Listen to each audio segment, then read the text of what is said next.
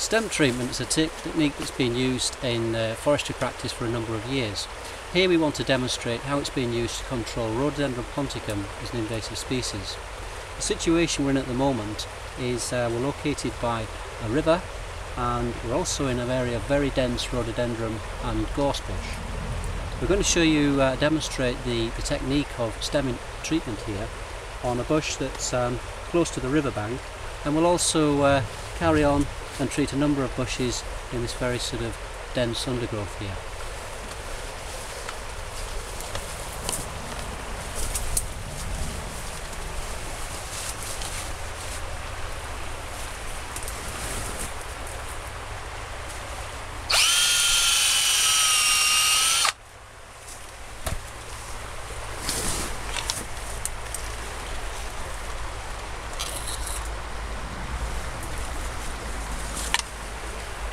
With a stem like this we just have one single stem and it should only require one drill into the stem. It's generally recommended that you get 2 millilitres of uh, chemical um, into the, the stem which is of a 25% glyphosate mix. We're going to carry on and treat another a few more stems here in the undergrowth, a little bit more dense and a little bit more difficult to get at.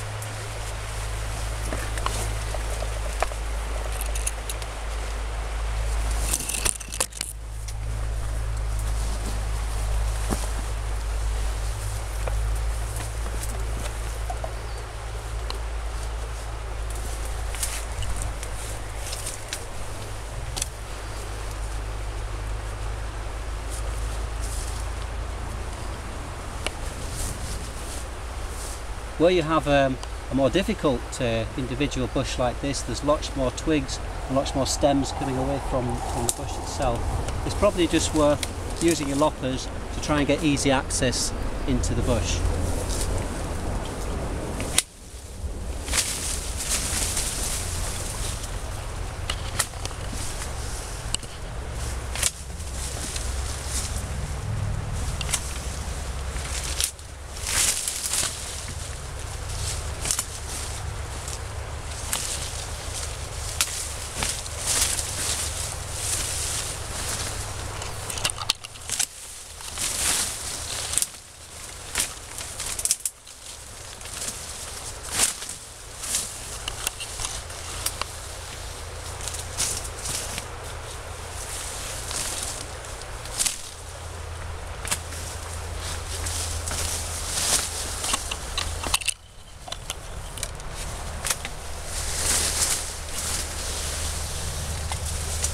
Now a little bit of lopping, we've got rid of the, the branches that are obstructing our pathway.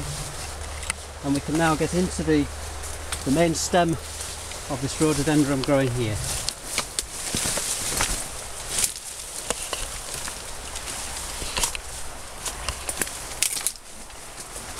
In this particular bush we have a number of stems coming up from the main stem. But as long as you get the bottom stem as branches branch upwards the chemical will still move upwards through the plant.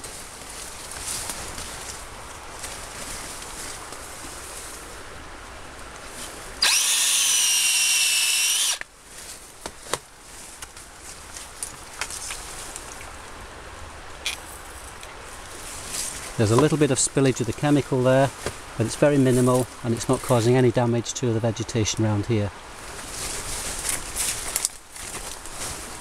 At the back of this bush we have another stem. And this will need to be injected as well. And where you have multiple stems.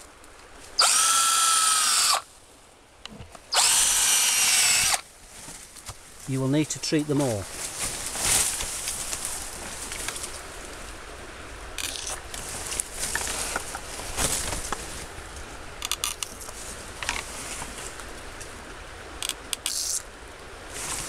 That 25% solution will be enough to kill this bush depending on the time of year but it should be completely dead within about three months.